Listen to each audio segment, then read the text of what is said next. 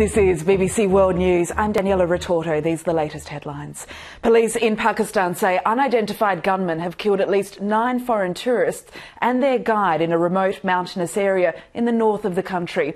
They were attacked in the northern Gilgit-Baltistan province.